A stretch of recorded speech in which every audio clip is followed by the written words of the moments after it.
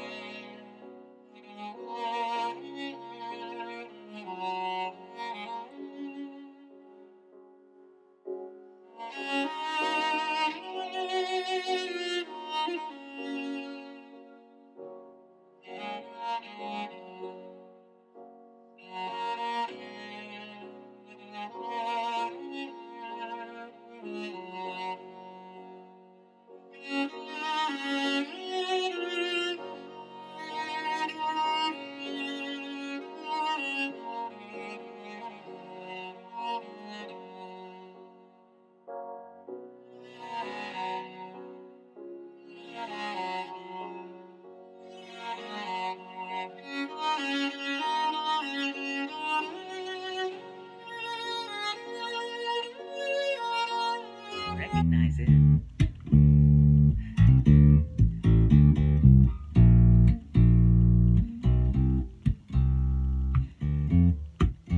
Recognize it?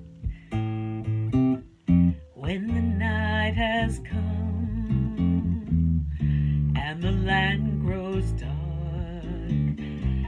and the moon is the only light you see.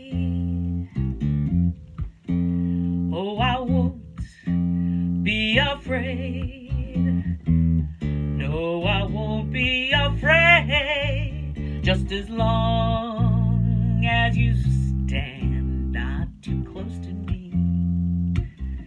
Darling, darling, stand by me. Oh, stand by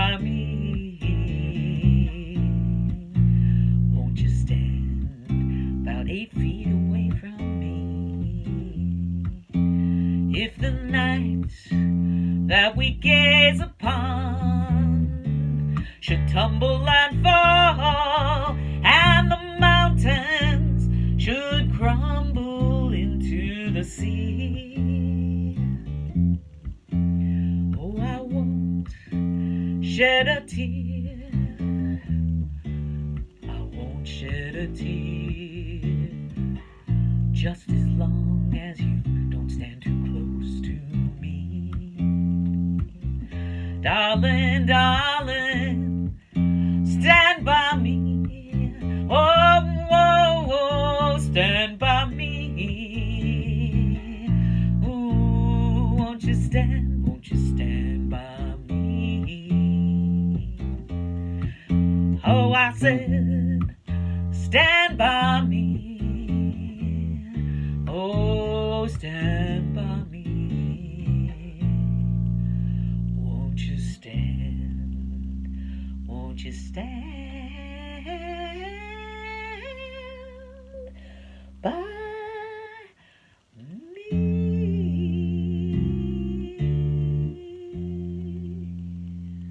Yeah, we're standing by you, that's for sure.